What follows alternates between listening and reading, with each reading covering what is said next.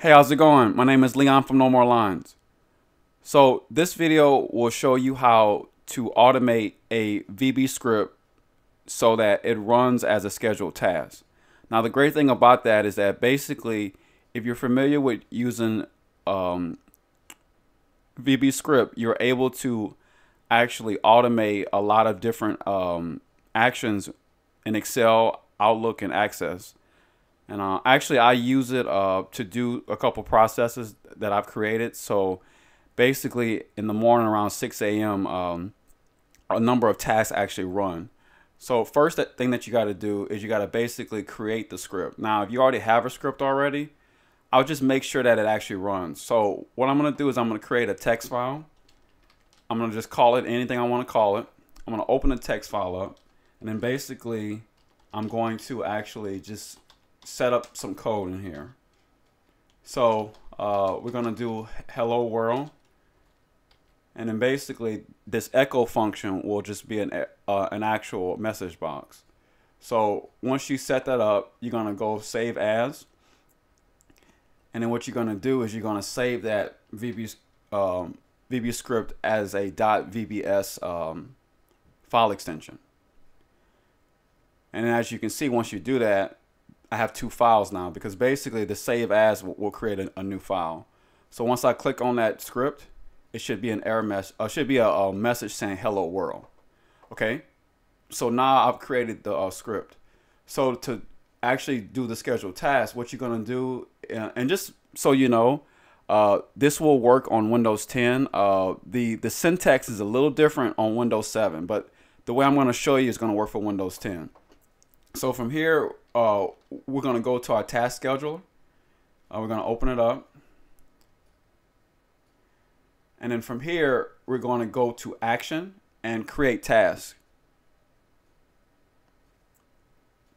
Okay. Then from here, uh, we can name the task whatever we want to name it.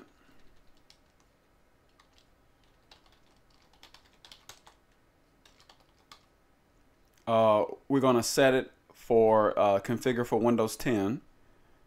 Uh, we can set our triggers to where it can run uh, anytime we want it, and there are a lot of different options. You can set it to where it runs every day. It runs uh, on certain days of the week.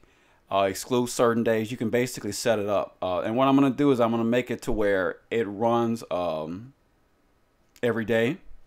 It's going to reoccur every day, and then it's going to basically run at the same time every day uh, make sure you hit enable. You're going to hit OK. And then the actions is the important part. So what you're going to do from here is you're going to go to new. And the program script name is going to be the actual, you're going to type in uh, wscript.exe.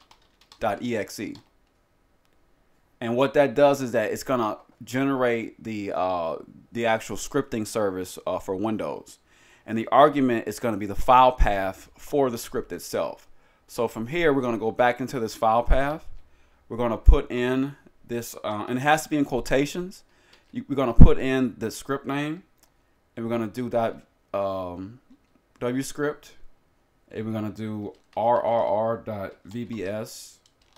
and we're going to put it at the end. So basically, this file path here should actually run the script itself. So I'm going to show you real quick. So a way of knowing that it's going to work is basically if you're able to uh, go into um, your Windows Explorer and actually open the file up. If it if it does that, then, then it means that the file path is correct. So we're going to go ahead and do that. We're going to go ahead and open up um, this script and just make sure it's working right. Of course, take out the um, the syntax. And I'm going to make sure that's that's correct. Yeah, it is. Okay.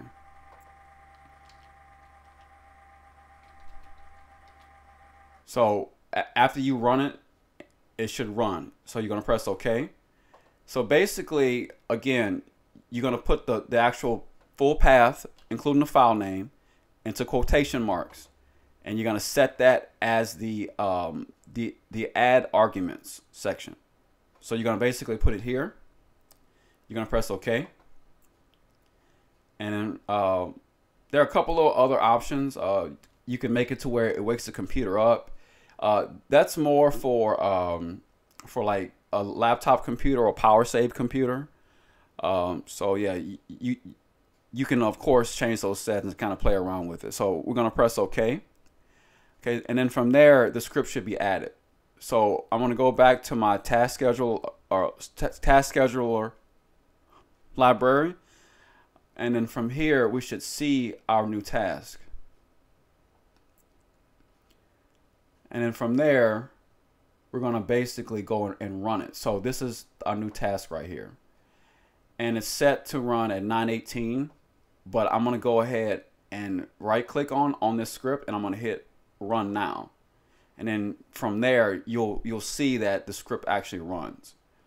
Uh, so again, the, the important thing is that you want to make sure that, um, again, uh, I'll show it to you again just so you, you're aware because and um in Windows 7 uh, the syntax is a little different but in Windows 10 which is what I'm using right now you're gonna do the, the script uh, basically the program script is gonna be wscript.exe and then the full path of the VBS script in quotations um, so yeah uh, I guess let me know what you think in the comment section uh, this is my first video concerning automation. Uh, I actually do a lot of automation at my job, and I actually do it uh, in my personal time as well. Um, so yeah, if you want me to make any more videos, uh, I guess just leave a comment, like the video, share it, uh, subscribe to the channel. Hey, thank you. Bye.